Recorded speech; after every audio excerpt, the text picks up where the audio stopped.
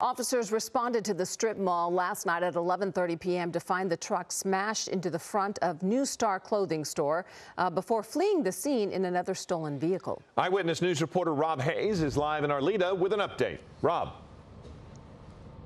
Yeah, Philip Joe, the search for those thieves is underway. You can see right now the hole in the building is being uh, covered up with a tarp this morning.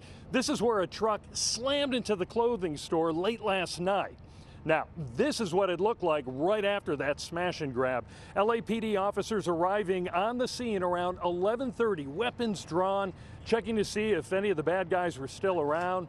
All that was left behind, though, was a stolen pickup truck still smoking. Now, this is the New Star store in the 9700 block of Woodman in Arleta. Investigators say the burglars crashed the truck right through the front door, ran inside, grabbed what they wanted, and took off. Police say among the items stolen were custom jewelry and clothing. They got away in another stolen vehicle. Investigators say they have surveillance video of the smash and grab and are reviewing it today to search for more clues. Now, investigators have not said how much the stolen goods were worth, but uh, repairs to the building obviously are going to add on to that loss.